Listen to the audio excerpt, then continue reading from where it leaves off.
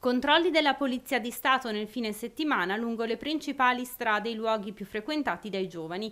In particolare sono stati predisposti 21 posti di controllo lungo le principali strade in entrata e uscita da Verbagna e Baveno e nei pressi degli svincoli autostradali. Nel corso del servizio sono state controllate 514 persone, 196 veicoli ed elevate 4 sanzioni amministrative. Di queste ben 3 sono state irrogate per il possesso di sostanza stupefacente esclusivamente per uso personale. Gli agenti della sezione volanti della Questura, insieme all'unità cinofila della Guardia di Finanza di Verbagna, hanno segnalato per uso di sostanza stupefacente tre soggetti, di cui due cittadini italiani di 25 e 22 anni e un 25enne di origini argentine.